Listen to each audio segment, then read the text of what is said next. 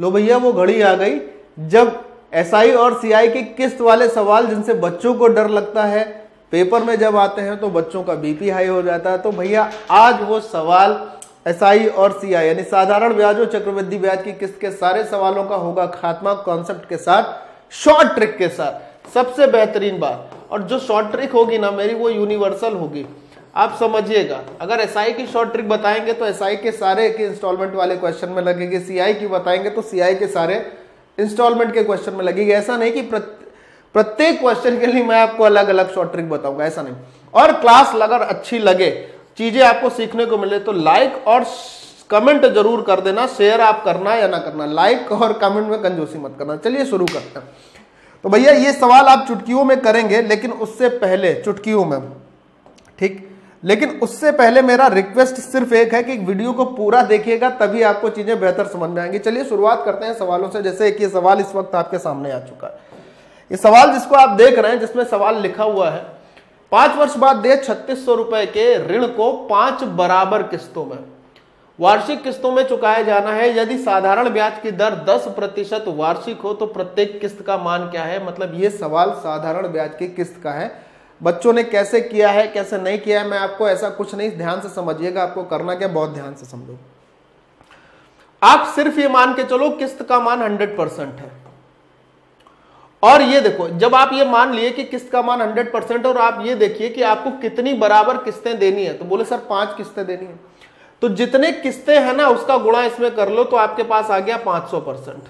Yes और no short trick ही शुरुआत कर रहा हूँ शॉर्ट ट्रिक मैं आपको बता रहा हूँ। ठीक? पहला सवाल है, इसलिए डिटेल थोड़ी शॉर्ट ट्रिक की बताएँगे, फिर अगले पर हम लोग डायरेक्ट करने लगेंगे। क्या बोला मैंने? आपने किस्त मान ली हंड्रेड परसेंट जितनी किस्त देनी है, उसका गुणा करके हमने ये पता कर लिया कि हमें पाँच सौ रुपए, पाँच सौ परसेंट देना ही देना है। अब मैं बात करता हूँ, इस पर जो इंटरेस्ट लगेगा, वो कितना होगा? उसके लिए आप क्या करोगे? जो भी समय आपको दिया है, जो भी समय आपको दिया है कि पाँच वर्ष पर, बराबर किस्तें हैं तो पाँच वर्ष समय होगा। जो भी आपको समय दिया, ध्यान से सुनना, उसको आप घटते हुए क्रम में लिख लीजिए। जैसे यहाँ पाँच है तो मैंने पाँच को घटते हुए क्रम में लिखा, पाँच, चार, तीन, दो, एक। इसमें जो सबसे बड़ा है, उसका काम खत्म कर दीजिए, बाकी को जोड़कर लिख लीजिए, दस आ गया। अब आप समय पाँच नहीं देखेंगे, आप समय कितना देखेंगे सर? दस। उसके बाद ब्याज की दर कितनी थी सर? दस परसेंट थी। और साधारण ब्याज होता क्या है सर? आपने पढ़ रखा है कि दर गुणे समय। तो समय दस, दर भी दस यानी ब्याज आपका लगा सौ परसेंट। ठीक? आप किस्त कितनी दे रहे थे? इंस्टॉलमेंट कितनी दे रहे थे? सर, पाँच सौ परसेंट। उसके बाद उस पर ब्याज कितना दे रहा हो? सर जी, सौ परसेंट। पाँच सौ परसेंट किस्त का रुपया हो गया, सौ परसेंट ब्याज का रुपया हो गया, यानी टोटल आप छह सौ परसेंट अदा कर दोगे, मैं ब्याज सहित। और इसी छह सौ परसेंट की कीमत आपको यहाँ पर कितनी दे रखी है? छत्तीस सौ। काम खत्म हो गया, सर। तो 600 परसेंट की कीमत आपके पास 3600 दी है। आप एक परसेंट की कीमत बोलेंगे, सर, छह होगी। इसलिए जो आपने किस्त मानी थी, एक परसेंट अगर छह है तो सौ परसेंट छह सौ होगी। आपकी किस्त का मान क्या आ जाएगा? छह सौ। बोलो क्लियर है। इससे ज़्यादा शॉर्ट ट्रिक इससे ज़्यादा शॉर्ट ट्रिक साधारण ब्याज के सवालों की हो ही नहीं सकती है। एक और अगला सवाल लेते हैं, जिससे मैं आपको सिखाऊँगा। अब थोड़ा और छोटा करते हैं इसको, वो कैसे करेंगे समझना। नौ रुपए का ऋण है, समझना सवाल ध्यान से। नौ रुपए का ऋण है, चार बराबर किस्तों में चुकाया जाना है, साधारण ब्याज की दर 12 परसेंट है। मैंने किस्त मान ली 100 परसेंट, चार बराबर किस्तें देनी थी 400 परसेंट हो गया सीधा सीधा बोले हाँ सर। अब इसमें मुझे क्या जोड़ना है? ब्याज। ब्याज कैसे जुड़ेगा? समय कितना है सर? समय है चार वर्ष का। उसको हमने डिक्रीजिंग ऑर्डर में घटते हुए क्रम में लिखकर बड़े वाले को काट दिया। बाकी सबको जोड़ लेंगे तो तीन, दो, पाँच और एक छह हो गया। ब्याज की दर कितनी थी? बारह परसेंट। तो बारह छंग बहत्तर प्लस चार सौ, यानी आपने टोटल दिया चार सौ बहत्तर परसेंट। और ये कितने के बराबर है? नौ सौ चवालीस रुपए के।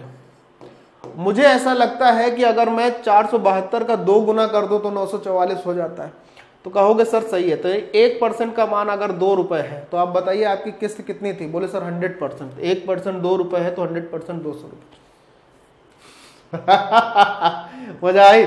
कमेंट और लाइक ज़रूर करिएगा। ज़रूर ज़रूर करिएगा मेरे दोस्त ज़रूर करिएगा, ठीक है? कमेंट और लाइक। अब इससे सरल तो सौ परसेंट क्या है? दो सौ रुपए। यानी किस्त जो होगी, इंस्टॉलमेंट जो होगी, वो कितने की होगी? दो सौ रुपए। इससे सरल मैं आपको क्या ही बताऊँ। कोई नहीं बता पाएगा, मित्र। चलिए, आगे देखते हैं। बारह हज़ार आठ सौ रुपए तीन साल के बाद देने हैं, यदि वो तीन किस्तों में चुकाना चाहता है और पहली किस्त दूसरी किस्त की आधा और तीसरी किस्त की एक तिहाई हो तो तीसरी किस्त ज्ञात कीजिए, यदि ब्याज की दर 10 परसेंट है। ये सवाल भी इस प्रकार के साधारण ब्याज की किस्त में सवाल आने लगता है। तो दो सवाल मैंने आपको बताया, तीसरा सवाल देखिएगा, ये जो है ना, ये very very very very important question है। इसको जितने बार इंपॉर्टेंट कहेंगे ना, उतना समझिए, पहले तो हम किस्तों की बात कर लेते हैं, तीन किस्तें थी, पहली, दूसरी और तीसरी। ये तीन किस्तें थी, क्या कहता है? पहली किस्त दूसरी का आधा और तीसरी का एक तिहाई। तो मैं तीसरी किस्त को अगर मैं 300 मान लूँगा तो पहली किस्त 100 हो जाएगी, दूसरी किस्त 200 हो जाएगी। ठीक है? अच्छा। बारह हज़ार आठ सौ रुपए तीन साल के बाद देने थे, यानी कि कुल मिलाकर जो कर्जा है बारह हज़ार आठ सौ का है। आगे बढ़ते हैं। कहता है, यदि ब्याज की दर दस परसेंट हो, इसको समझना है आपको, ब्याज की दर कितनी हो, दस परसेंट हो। तो आपसे पूछा क्या गया है इसमें? तो पूछा गया है तथा पहली किस्त, तीसरी किस्त ज्ञात करनी। ये वाली किस्त आपको ज्ञात करनी कि कितनी होगी। इस चीज़ को समझना थोड़ा सा, ठीक? मैं कह रहा हूँ कि अगर ब्याज की दर 200 परसेंट ब्याज की दर 10 परसेंट है तो इस हिसाब से अगर मैं देखूँ 10 परसेंट के हिसाब से अगर मुझे यहाँ पर 10 परसेंट होता ब्याज तो इसका 10 परसेंट बीस होता तो ये किस्त होनी चाहिए 220 कितनी होनी चाहिए थी? 220 यस और नो बोले हाँ सर। अब जैसे ही आपको पता चला, ये मैंने आपको एक अंदाज़ा लेने के लिए लिखा दिया था। ये अगर तीसरी किस्त 220 है तो पहली वाली जो किस्त है, इसका एक तिहाई थी। पहली वाली किस्त इसका एक तिहाई थी और दूसरी का क्या थी? आधा थी। तो इसी हिसाब से हम इसको लेकर चलते हैं। फ़िलहाल, खैर, इस चीज़ को आप जाने दो। ये 10 परसेंट इतनी बात समझ में आ गई कि तीसरी किस्त क्या होनी चाहिए थी? 220 अच्छा इसका मतलब ये वाली किस्त क्या होगी? मैं आपको ये बोल रहा हूँ कि अगर, सुनिए सर, अगर 300 का मान 220 है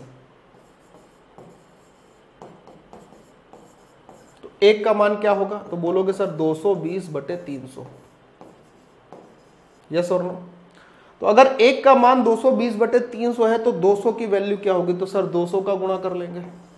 दो ज़ीरो से दो ज़ीरो खत्म होगा 220 गुणे दो बटे तीन। यानी कि ये वाली जो किस्त होगी, वो कितनी होगी? 220 बटे ये वाली जो किस्त होगी, इसको रफ कर देते हैं। इसका मान क्या होगा? 220 गुणे दो बटे तीन, यानी कि 440 बटे तीन। मेरी बात को ध्यान से समझना मित्र, ठीक? उसके बाद अगर मुझे सिर्फ़ 100 का मान निकालना होता तो आप कहते, सर, ये सिर्फ़ 220 बटे तीन हो जाता। बोले हाँ सर 220 बटे तीन हो जाता, ये हो जाता, कोई दिक्कत नहीं। मैं आपसे कहना ये चाहता हूँ इस चीज़ को समझाने के लिए कि अगर मैं तीन को इधर उधर भेज दूँ तो अपने पास जो किस्तें आएँगी एक्चुअल किस्तें, वो क्या होंगी? 220 तीन इसमें भी था 440 तीन इधर भेज देंगे 660 ये हैं अपनी किस्तें, जिसमें 10 परसेंट ब्याज की दर भी लग जाए अगर ये आप सही से निकाल लोगे तो आपका काम इजी हो जाएगा। अब जरा देखिए टोटल कर्जा था बारह हज़ार आठ सौ का। तो मैं अगर इनको जोड़ लेता हूँ तो अपने पास क्या आएगा? छह चार दस दस दो बारह के दो हासिल लगेगा एक, छह एक सात सात चार ग्यारह ग्यारह और दो तेरह। एक ज़ीरो आ गए, तेरह सौ बीस। ये किसके बराबर? बारह हज़ार आठ सौ के बराबर। ज़ीरो से ज़ीरो काट दीजिए। एक सौ बत्तीस और इतना यानी कि एक का मान क्या हो जाएगा? तो सर बोलोगे एक का मान हो जाएगा बारह हज़ार अस्सी बटे एक सौ बत्तीस। और हमें सर निकालनी थी कौन सी किस्त? कौन सी किस्त निकालनी है भाई? तीसरी किस्त। तीसरी किस्त क्या है भाई? 660 क्लियर? सॉल्व करके आंसर देना था कि आंसर क्या आ जाएगा। हाँ या ना का जवाब दीजिए। सॉल्व करके आंसर देना है, आंसर क्या आ जाएगा। और बाकी अगर आप ऐसे भी थोड़ा समझो ना तो भी आंसर आ जाएगा। कि ये छह से डिवाइड होगी। ग्यारह से तो होगी, छह से भी होगी। तो इन सब में छह से डिवाइड होने वाला ऑप्शन कौन सा दिख रहा था? बोले, सर, एक ही दिख रहा है। कौन सा? छह हज़ार। वही उत्तर। ठीक? मज़ा आया? अच्छा सवाल है ना? अच्छा क्वेश्चन है ना? तो अब मैं बढ़ता हूँ आगे। मुझे उम्मीद है कि इतना आप लोग कर ही लोगे और अगर नहीं कर पाओगे तो थोड़ा सा करना, क्योंकि 11 से ये भी कट जाता है, आसानी से 11 से ये भी कट जाएगा। कोई दिक्कत नहीं आएगी। ठीक है? मैं आगे बढ़ रहा हूँ। अब देखिए नेक्स्ट क्वेश्चन आ गया, यहाँ पर चक्रवृद्धि ब्याज की किस्त आ गई। और जैसे ही आपके पास चक्रवृद्धि ब्याज की किस्त आएँगी ना तो ये और भी सरल हो जाता है। हालाँकि मैं आपको पूरा भी बताऊँगा, और भी सरल हो जाता है। इसमें चक्रवृद्धि ब्याज की किस्त में आप सिर्फ़ ब्याज की दर को फोकस करिए, बस। देखिए, आप कैसे समझोगे? ब्याज की दर कितनी दी है? चार परसेंट। चार परसेंट को आप लिखते हो, एक बटे पच्चीस। मतलब 25 का जो मूलधन है, उस पर एक ब्याज लगेगा तो 25 का मूलधन किसमें कन्वर्ट हो जाएगा? 26 यानी कि ये 26 का जो अनुपात है, यही आपकी इंस्टॉलमेंट है। यानी जो ऑप्शन 26 से कटे, वो आंसर अब बोले, सर 26 का तो पहाड़ा ही नहीं आता, कोई दिक्कत नहीं है। तो जो ऑप्शन 13 और दो से कट जाए, दोनों से, वो आंसर होगा। दो से ये कट नहीं सकता, दो से ये नहीं कट सकता, दो से ये नहीं कट सकता, क्योंकि इसकी इकाई में सम संख्या नहीं है। आपका आंसर ये होगा तेरह से भी कटेगा, दो से भी कटेगा। काट के देख लो। मज़ा आई सवाल। तो ये सवाल तो आप मुश्किल से मुश्किल दो सेकंड में कर सकते हैं। अब कोई बच्चा हालाँकि ये कह सकता है और कहेगा भी अभी कि सर अगर तीन और दो ऑप्शन तेरह से करते हो दो से करते हो सर अगर चारों ऑप्शन तेरह से करते हो दो से करते हो तो फिर कोई दिक्कत नहीं है घबराना नहीं। अगर दो ऑप्शन ऐसे होते जो तेरह से भी कटते दो से भी कटते तो, तो समय पर जाना होगा अगर ऐसा होता है। दो बराबर किस्तें थी। तो अगर दो बराबर किस्तें थी तो आप इसमें तेरह गुणे दो और कर लेते। यानी दूसरा ऑप्शन जैसे एक ऑप्शन ये तेरह गुणे दो से कटा है।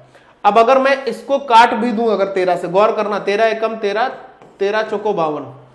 तो ये दोबारा भी तेरह से कटेगा और दो से कटेगा। देख लो, तेरह अट्ठे एक सौ चार, और अगर दो से काटेंगे तो बावन बार। यानी कि जितना समय होगा ना, फिर वो उतनी बार तेरह और दो से कटेगा कटेगा। तो ये खत्म ये खत्म, ये आंसर। पूरा कैसे करते हैं वो मैं आपको लास्ट में बताऊँगा, पूरा कैसे करते हैं। पहले इस तरीके से आप सवालों को देख लो कि कैसे सॉल्व करते हैं। मज़ा आ रही है आपको, ठीक है? चलिए देखिए। किस पर फोकस करना है? ब्याज की दर यहाँ पर 10 परसेंट दी है। 10 का मतलब एक बटे दस, यानी कि 10 का मूलधन किसमें कन्वर्ट हो जाएगा? 11 के मिश्रधन में, और यही जो मिश्रधन होगा ना, यही आपकी किस्त होगी, किसकी? चक्रवृद्धि ब्याज की। तो हर वर्ष के अंत में उसे किस्त देनी पड़ती है। तो किस्त का भुगतान कितना होगा? जो ऑप्शन 11 से कट जाए वो आंसर मैं साफ़ देख सकता हूँ, ये 11 से नहीं कटता, ये नहीं कटता, ये कटेगा, ये भी नहीं कटता। खाम खाम है, इतना मेहनत क्यों करना? आंसर आ गया बारह हज़ार सौ रुपए। डिटेल क्या होती मैं बताऊँगा, लेकिन पहले इस चीज़ को देख लो कैसे करता। अगला सवाल देखो। पाँच परसेंट की हर वर्ष के अंदर दो समान किस्तें, प्रत्येक किस्त की राशि पूछ रहा है। ब्याज की दर कितनी है? बोले, सर, ब्याज की दर पाँच परसेंट है। पाँच परसेंट का मतलब एक बटे एक बटे बीस। बीस का मूलधन इक्कीस के मिश्रधन में बदल जाएगा। अब अगर किसी को इक्कीस का पहाड़ा नहीं आता, सर, वो क्या करें? कोई बात नहीं। तो उसको सात और तीन का तो आता होगा। तो जो ऑप्शन सात से भी कटे, तीन से भी कटे, वो आंसर देख लेते हैं, छह छह, बारह, पाँच, सत्रह, एक, अठारह, तीन से कटता है। पहले तीन से देखते छह छह, बारह बारह, पाँच, सत्रह, एक, अठारह कटेगा, सारे तीन से कटेंगे। अब देखो सात से कौन कटेगा। सात नब्बे में तिरसठ होगा, तीन बचेगा, सात पना पैंतीस, ये नहीं कटता है सात से, ये खत्म हो गया। सात नवा तिरसठ, तीन बचेगा इकतीस, सात चौको अट्ठाईस, तीन इकतीस, ये कटता है। हो सकता है ये आंसर हो हो सकता है। आगे भी तो चेक कर ले। सात नवा तिरसठ, ये तीन, सात से नहीं कटेगा। सात अट्ठे छप्पन, पाँच, सात सत्ते उनचास छह, ये भी सात से नहीं कटेगा, ये आपका उत्तर हो गया। अब मैं आपको ये बोल रहा हूँ कि ये जो तरीका है ना आपका, ये किसी भी तरीके से आप अगर सवाल लगाओगे चक्रवृद्धि ब्याज की किस्त वाला तो उससे कम ही समय लेगा और 100 परसेंट और ये ऑप्शन कोई मैंने नहीं सेट कर रखे हैं। वो बच्चे कहते हैं कि ऑप्शन तो आपने सेट कर रखे इसमें केवल ये लिखना भूल गया हूँ कि आरआरसी ग्रुप डी और एनटीपीसी की परीक्षा में ऐसे प्रश्न पूछे गए थे। ये लिखा नहीं है केवल इसमें। बाकी प्रश्न उसी के हैं भाई। ठीक? चलो, अगले सवाल पर देखते हैं। तेरह हज़ार तीन सौ साठ रुपए की भुगतान राशि इतने वार्षिक ब्याज की दर से उधार ली गई। वापसी भुगतान दो वर्ष में हो तो प्रत्येक किस्त की राशि आठ सही तीन बटे चार परसेंट। आठ चौको बत्तीस बत्तीस और तीन पैंतीस बटे चार परसेंट। बहुत ध्यान से सुनिएगा, पैंतीस बटे चार परसेंट को हटाएँगे, नीचे सौ लिख लेंगे। समझ लो, देख लो, पूरा कैसे लिखते हैं, क्या भाग आएगा। पाँच सत्ते पैंतीस, पाँच से कट गया बीस बार। तो ये आ गया सात बटे अस्सी। सात बटे अस्सी। सात बटे अस्सी। तो मैं इसको लिख सकता हूँ किसको? आठ सही तीन बटे चार परसेंट को मैं लिख सकता हूँ सात बटे में अस्सी। इसका मतलब मेरे दोस्त ये हुआ कि अस्सी की चीज़ जो होगी, वो सत्तासी के मूलधन में बदल जाएगी। अब सर, सत्तासी का टेबल तो नहीं आता है, कोई बात नहीं तो उनतीस और तीन का तो आता होगा। तो जो ऑप्शन उनतीस और तीन से कटे, वो आंसर होगा। सीधी सी दिख रहा है कि ये उनतीस से तो कट ही नहीं सकता है। तीन से नौ, सात, सोलह, ये तीन से नहीं कटेगा। बाकी देखो नौ, छह, पाँच, ग्यारह ग्यारह, सात, अठारह, तीन से कट सकता है और ये भी तीन से कट सकता है। अब देखना है इसमें उनतीस से कौन सा कटेगा, कौन सा नहीं कटेगा। मैं आपको क्या बताने जा रहा हूँ उसको सुनो। मैं अगर देखूँ कि पचहत्तर सो उनहत्तर जो लिखा है, ये उनतीस से कटता है कि नहीं कटता है? पचहत्तर सो उनहत्तर। ये उनतीस से कटता है। उनतीस प्राइम नंबर है, इसलिए पहाड़ा देहान होना ही चाहिए। तो उनतीस दूनी अट्ठावन। पंद्रह में आठ जाएँगे, सात बचेगा, छह में पाँच गया, एक बचा। यहाँ पर लिख लिया मैंने छह। कितनी बार दो अट्ठे सोलह, यानी कि सात बार होगा? सात नवा तिरसठ के तीन हासिल लगेंगे छह, सात दूनी चौदह और छह। सात नवा तिरसठ के तीन हासिल लगेंगे छह, सात दूनी चौदह चौदह और छह बीस हो जाएगा। ज़्यादा हो जाएगा। छह बार कर ले, पाँच बार। छह बार कर लेते हैं। ठीक? कभी कभी मैं भी पहाड़े भूल जाता हूँ। छह नवाई चौवन के चार, हासिल पाँच, छह दूनी बारह और पाँच सत्रह। क्या बचा? दो। अब दो के बाद यहाँ पर नौ बचा था, उनतीस से कट गया। उनतीस से जैसे ही कट गया तो आंसर यही हो जाएगा, ये खत्म हो गया। जो ऑप्शन 29 या तीन में तो ये दोनों तीन से नहीं कटे, ये तीन से कटे थे, लेकिन इन दोनों में 29 से एक ही कटेगा तो 29 से ये कटा ये आंसर। ठीक? मैं पूरा भी बताऊँगा कि ऐसे सवालों को करते कैसे खैर, ये देखिए कुछ धन उधार लिया गया था। अब ध्यान से सुनना, यहाँ पर अब की बार आपको किस्त का मान दिया है। और अब की बार पूछा है कितना धन उधार लिया गया था, ये आपको बताना ध्यान से समझिएगा कैसे करते इसमें भी रेट ऑफ़ इंटरेस्ट का ही खेल है। इसमें रेट ऑफ़ इंटरेस्ट और समय दोनों के लिए आएगा। दो वर्ष का समय। रेट ऑफ़ इंटरेस्ट पाँच परसेंट है। पाँच परसेंट मतलब एक बटे बीस। बीस मतलब बीस की चीज़ इक्कीस के मूल मिश्र धन में बदल जाएगी, बोले हाँ सर, बदल जाएगी। तो जो पहली किस्त है ना भाई, कितनी है? आठ सौ बयासी रुपए। शॉर्ट ट्रिक समझिएगा। इसको आप मिश्र धन के बराबर करिए और बीस का मान निकाल लीजिए। पहले मूलधन का हिस्सा आ जाएगा। इक्कीस चौको चौरासी, चार बचा इक्कीस दूनी बयालीस बयालीस गुणे बीस, बयालीस दूनी चौरासी, यानी कि मूलधन का पहला टुकड़ा जो होगा, आठ सौ चालीस होगा। अब मैं दूसरे टुकड़े की बात करता हूँ, कैसे? किस्त तो सेम ही है। बोले, किस्त तो सर अभी भी आठ सौ बयासी है। तो किस्त सेम है तो मूलधन का दूसरा टुकड़ा कैसे निकालेंगे? स्क्वायर करके बराबर करो। दो वर्ष, चार सौ इक्कीस का स्क्वायर चार सौ इकतालीस। बीस का स्क्वायर चार सौ का मान चाहिए। चार सौ इकतालीस दूनी आठ सौ बयासी, चार सौ गुणे दो आठ सौ। मूलधन का दूसरा टुकड़ा आ गया आठ सौ। पहला टुकड़ा 840 दूसरा टुकड़ा 800 टोटल जोड़ दीजिए, मूलधन कितना होगा? 840 और 800 यानी कि 1640 रुपए उधार लिए गए थे। कितना रुपए उधार लिए गए थे? 1640 तो सही जवाब 1640 मेरी बात समझे भैया? कोई दिक्कत किसी को? नहीं। नेक्स्ट आइए। अब की बार किस्त इक्कीस एक सौ इक्कीस की है। धन पूछ रहा है। ब्याज की दर दस परसेंट। दस की चीज़ ग्यारह के मिश्र धन में बदली।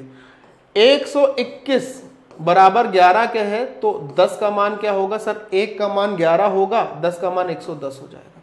मूलधन का पहला टुकड़ा 110 दूसरा टुकड़ा। 121 को स्क्वायर करेंगे तो 121 के ही बराबर थी और 10 का स्क्वायर 100 तो 100 का मान क्या आ जाएगा? 100 ही आ जाएगा। पहला टुकड़ा 110 दूसरा टुकड़ा 100 पहला टुकड़ा 110 मूलधन के लिए दूसरा टुकड़ा 100 यानी कि टोटल धन कितना उधारी ली गई? बोले सर 210 रुपए। सवाल खल्लास। ठीक? समझ आया? बोले हाँ सर. अब मैं आपको बताता हूँ कि जो किस्त वाले सवाल थे, जिनको आप सेकंडों में कर रहे थे, उनको अगर पूरा करते तो कैसे करते? समझो? सेम सी चीज़। पहले साल में 10 की चीज़ 11 की होगी, दूसरे साल में इसी का स्क्वायर, यानी 100 की चीज़ 121 की होगी। सवाल पढ़िएगा। कहता है, किस्त बराबर है तो किस्त बराबर करने के लिए इसमें हमें क्या करना होगा? 11 से गुणा करना होगा, तभी 121 की किस्त बराबर होगी तो इसमें भी 11 से गुणा हो गया। अब देखिए, यहाँ भी किस्त 121 की, यहाँ भी 121 की। लेकिन मूलधन की अगर मैं बात करता हूँ तो यहाँ मूलधन 110 दिखेगा, यहाँ मूलधन 100 दिखेगा, टोटल मूलधन हुआ 210 और सवाल के हिसाब से मूलधन कितना था, बोले सर, इक्कीस हज़ार। समझो। यानी 210 का मान अगर मैं आपसे कहूँ कि इक्कीस हज़ार के बराबर है, ज़ीरो से ज़ीरो काट लीजिए, एक का मान आ जाएगा सौ। मेरे मित्र, अगर एक का मान सौ आ गया तो किस्त चाहिए थी, किस्त क्या थी? बोले, सर 121 थी। एक का मान 100 है तो 121 का मान क्या होगा? हज़ार सौ। फिर से वही आंसर आया कि नहीं आया? बारह हज़ार सौ।